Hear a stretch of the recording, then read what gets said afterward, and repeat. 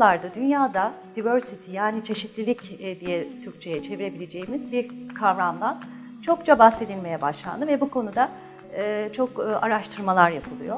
Ve yapılan bu araştırmalar gösteriyor ki kurumlar çalışan kompozisyonunda başta kadın erkek olmak üzere bu kavramı ne kadar isterleştirirlerse o kadar iyi sonuç alıyorlar ve rakiplerine göre kendilerini daha iyi konumlandırabiliyorlar.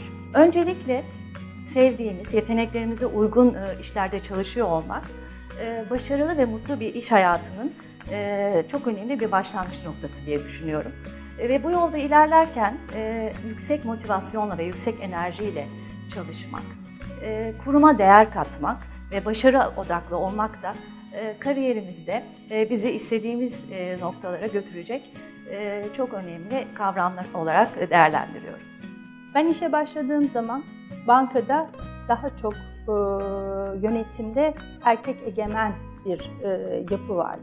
Ancak biz bunun dezavantajını ya da e, etkisini, negatif etkisini hiç hissetmedik. Her zaman çalışma ön plandaydı. Çalışanın hak ettiğini e, aldığına inanarak bugünlere geldik. İş hayatında da çok çalıştım. Özel yaşantımda da çok çalışmaya özen gösterdim. Bunların dengesini kurmak için de çok çalıştım.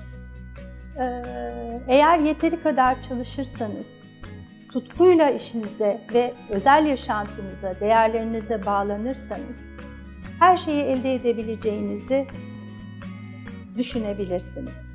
Hayat bazen size geçici olarak esler verebilir, duraksamalar verebilir. Ancak hiçbir zaman e, kendi isteklerinizden, arzularınızdan, tutkularınızdan geri kalmamanızı tavsiye ederim.